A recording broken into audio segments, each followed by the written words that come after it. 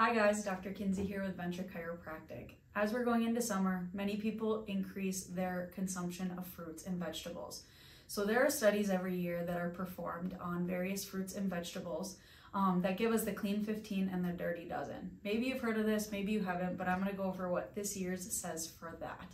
Um, these studies test the amount of fungicides and pesticides that are on fresh produce um, that are the non-organic produce. So these pesticides and fungicides that are on these produce um, are actually harmful to the hormone systems of the human body. So although, remember, everyone should eat plenty of fruit and, fruits and vegetables organically and conventionally too.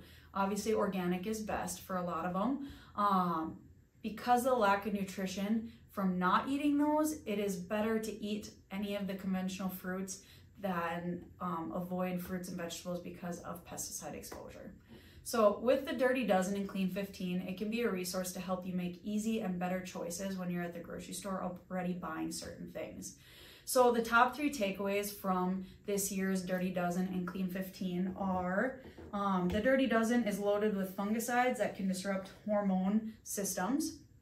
This year's 75% of non-organic produce and 95% of, the Dirty Dozen is coated with pesticides. And the third one, almost 65% of 2024's Clean 15 fruit and vegetable samples had no detectable pesticides. So that's really cool. Um, so a few of those that actually came in as the cleanest fruits here um, are avocados. So if you're going to the grocery store, um, if you're looking organic, non-organic, um, organic's obviously still always best, but um, avocados are considered very clean this year too.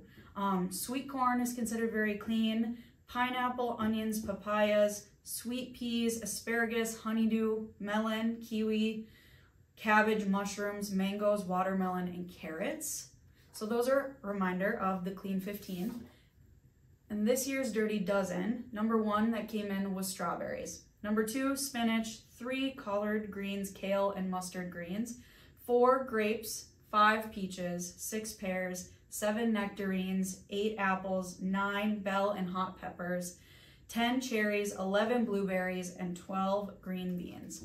So when you're going to the store, try to look for more of those organic options. If those aren't always available or are a little bit more pricey, the Clean 15 options are a good option this year. I hope you guys have a great summer and we'll see you next time. Everybody's moving, everybody's moving, everybody's moving, moving, moving, moving. Everybody's moving, everybody's moving, everybody's moving, moving, moving.